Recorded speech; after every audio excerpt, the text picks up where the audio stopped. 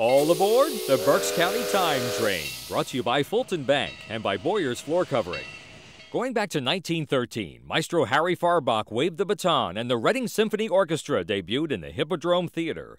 The orchestra grew over the years under the direction of colorful conductors Alexander Hilsberg from 1946 to 61 and Louis Vyner from 62 to 75, who took the RSO to Ford's Theater for a historic concert with pianist Andre Watts, and Sidney Rothstein from 1976 to 2006. Now Andrew Constantine leads the way with some new twists. Today, the orchestra plays here at the Sovereign Performing Arts Center, still sharing sounds of timeless classics. The Reading Symphony Orchestra, noteworthy success for nearly a century. I'm Mike Reinert on the Berks County Time Train, brought to you by Fulton Bank, listening is just the beginning, by Boyer's Floor Covering, serving Berks for over 85 years, and by the 69 News Berks Edition in Reading.